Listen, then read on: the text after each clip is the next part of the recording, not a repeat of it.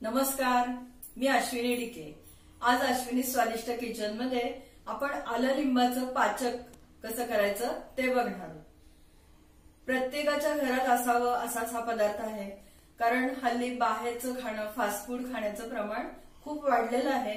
त्यामुळे लहान मुलांपासून मोठ्यांपर्यंत ऍसिडिटीचा त्रास होणं पित्त वाढतं मळमळ होते डोकं दुखतं उलटी आल्यासारखं होतं. किंवा आता थंडीच्या दिवसामध्ये थंडीमुळे पावसाळ्याच्या दिवसात पावसाळी हवेमुळे पोटात गॅसेस होतात गुबारा धरला जातो. तर अशा वेळेस या आललिंबाचा पाचकाचा फार चांगला उपयोग होतो. चवीला ते चांगलं असतं त्यामुळे कुरकुर न करता लहान मुलं सुद्धा ते घेतील. अशाच पद्धतीने आपण ते बनवणार आहोत. आललिंबाचं पाचक कसं करायचं ते बघण्यापूर्वी आता तुम्ही पहिल्यांदा साहित्य बघून घ्या. आपण लगेचच कृती करूया. आज आपण आलं लिंबाचं पाचक करतो आहे. तर त्यासाठी मी इथे आठ लिंब घेतलेली आहेत. मला साधारण दोन वाट्या रस लिंबाचा लागणार आहे. लहान मोठी लिंब असतील त्यानुसार आठ लिंब लागतील. कधी दहा लिंब लागतील.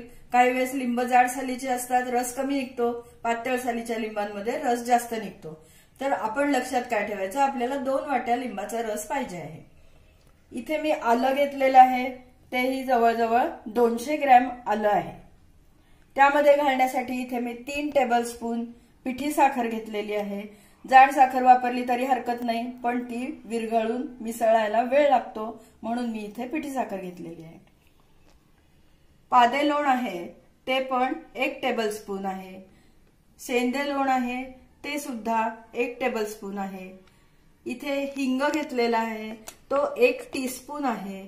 आणि या पाचक रसामध्ये घालण्यासाठी प्रिझर्वेटिव्ह सोडियम बेन्झोएट आयपी ग्रेडचं केमिस्टच्या दुकानामध्ये मिळतं. तेच आणायचं आणि तेच वापरायचं. म्हणजे बराच काळपर्यंत आललिंबाचं पाचक अगदी चांगल्या प्रकारे राहतं. अर्थातच ते आपल्याला फ्रीजमध्ये ठेवायचं आहे. काचेच्या बाटलीत आपण जर काढलेलं असेल तर कुठलीही वस्तू डीफ्रीजमध्ये ठेवायची नाही. आपल्या फ्रीजच्या दरवाजामध्ये बाटल्या बरण्या ठेवण्यासाठी जिथे जागा असते तिथे आपण हा पाचक रस ठेवू शकतो. आता आपण आल्याचे बारीक बारीक काप करून घेऊया. आपल्याला मिक्सरमध्ये ते चांगलं बारीक वाटून घ्यायचंय आणि नंतर कपड्यामध्ये तो वाटलेला गोळा घालून कपडा पिळून त्यातून आपल्याला आल्याचा रस काढून घ्यायचा आहे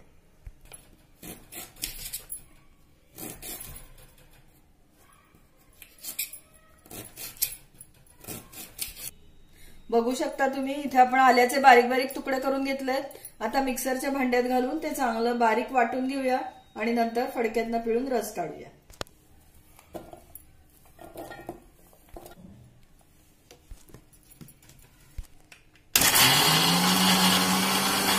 बघू शकता आपलं आलं किती छान वाटलं गेलेलं आहे. आलं अगदी ताजं रसरशीत असलं.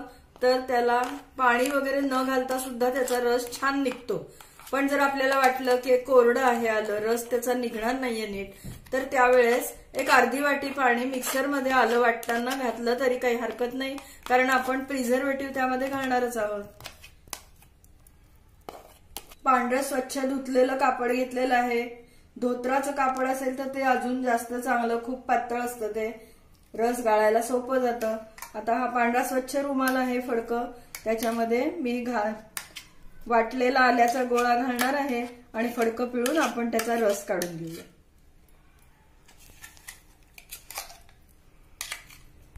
फडक्यात आपण सगळा वाटलेला गोळा काढून घेतलेला आहे.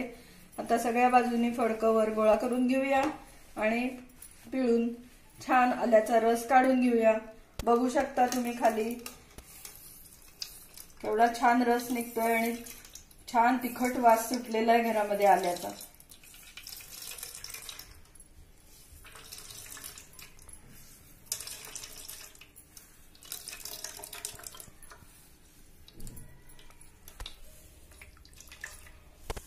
फडकं पिळून पिळून अगदी आपण छान त्याचा रस जास्तीत जास्त काढून घ्यायचा आहे.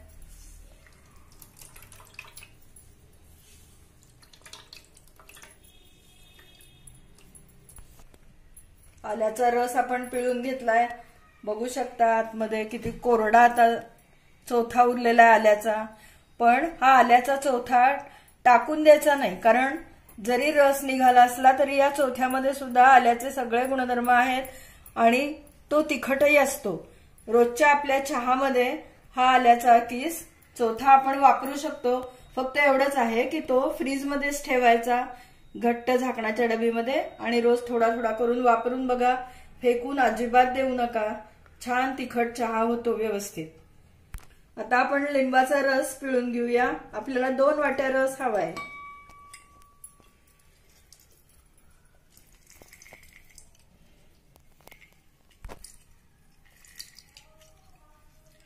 आपला लिंबाचा रस आता काढून झालेला आहे. दोन वाट्या अंदाजे हा रस असणार आहे. आपण नंतर वाटीनी मोजून बघूया. आल्याचा रस जो काढला आहे तो सुद्धा एक ते सव्वा वाटी नक्कीच रस आहे. आणि आता आपण सगळं मिश्रण एकत्र करून पाचक तयार करून घेऊ. हा आल्याचा रस सव्वा वाटी आहे या वाटीनी. आता आपण लिंबाचा रस मोजून घेऊया. एक वाटी.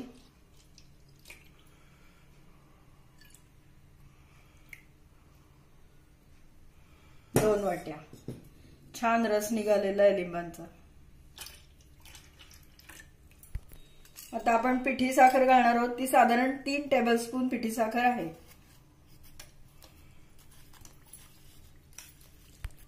हे पादे लोण आहे. ब्लॅक सॉल्ट म्हणतात ते हे मीठ आहे. ते घालूया.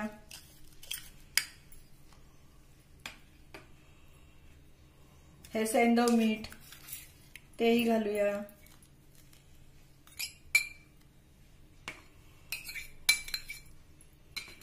आणि हा हिंग हिंगाची पूड आहे. हिंगामुळे त्याला चवही छान येते आणि गॅसेसचा त्रास होत नाही.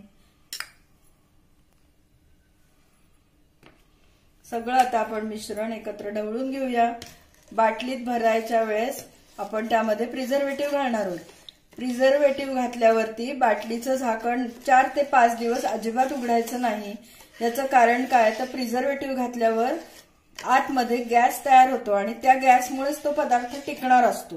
जर तुम्ही वरचेवर सारखी ती बाटली उघडली तर गॅस बाहेर निघून जाईल आणि प्रिझर्वेटिव्ह घालून सुद्धा आपला पदार्थ का बिघडतोय हे आपल्या लक्षात येणार नाही. त्यामुळे प्रिझर्वेटिव्ह घातल्यावर अजिबात चार दिवस बाटली उघडायची नाही. आणि जर तुम्हाला त्यापूर्वी खाऊन बघायचं असेल तर प्रिझर्वेटिव्ह घालण्यापूर्वी थोडंसं दुसरीकडे छोट्या वाटीमध्ये काढून घ्या चव बघण्यासाठी आणि नंतर प्रिझर्वेटिव्ह घाला.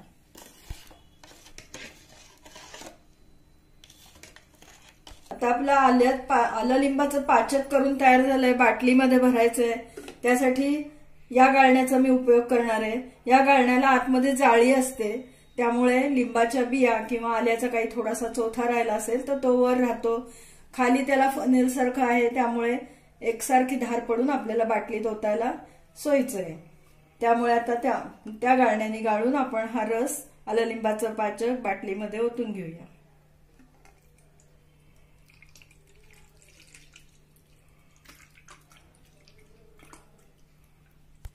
बाटलीत आपण भरलंय पण तुम्ही बाटली बघा अगदी वरपर्यंत काठोकाठ भरलेलं नाहीये. बाटलीच्या मानेपर्यंतच आपण भरलंय काल त्याला कारण आपण आता प्रिझर्वेटिव्ह घालणार होतो आणि प्रिझर्वेटिव्ह घालून झाकण लावलं बंद करून ठेवली बाटली की आत गॅस तयार होतो. त्यासाठी पार वरपर्यंत बाटली भरायची नाही. सोडियम बेन्झोएट आयपी ग्रेडचा आपण यामध्ये घालणार आहोत. पाव टीस्पून हे आहे ते घालूया आणि बाट ढवळून बाटलीला झाकण लावून ठेवून द्यायचं.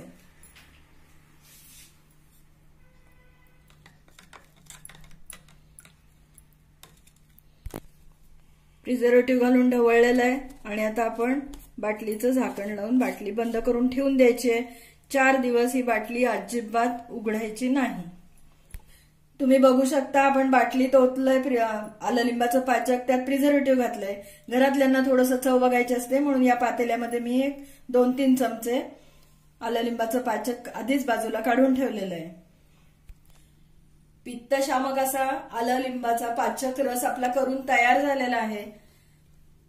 अपचन झालं गॅसेस झाले जड जेवण झालेलं असलं तर अशा वेळेस आपण हा रस एक चमचाभर डायरेक्ट तोंडात टाकला आणि वरतून पाहिजे असलं तर तुम्ही कोंबट पाणी प्या एक अर्ध भांड अगदी अर्ध्या तासात तुम्हाला पोटाला अगदी छान आराम मिळतो आणि तोंडाला चवही छान येते कारण शेदेलोण पादेलोण लिंबाचा रस साखर या सगळ्यामुळेच त्याची चवही अतिशय सुंदर असते. माझा हा आलं पाचकरसाचा पाचक रसाचा जर व्हिडिओ तुम्हाला आवडला असला तर लाईक करा शेअर करा. तुम्हीही या पद्धतीने आलं पाचकरस पाचक रस करून बघा आणि मला नक्की कमेंट द्या. माझ्या चॅनलला सबस्क्राईब करून शेजारचं बेल आयकॉनही दाबायला विसरू नका. म्हणजे वेळोवेळी पाठवलेली नोटिफिकेशन तुमच्यापर्यंत लगेचच पोहोचतील पुन्हा आपण नवीन अशाच एखाद्या टेस्टी स्वादिष्ट रेसिपीसह भेटूया. तोपर्यंत धन्यवाद.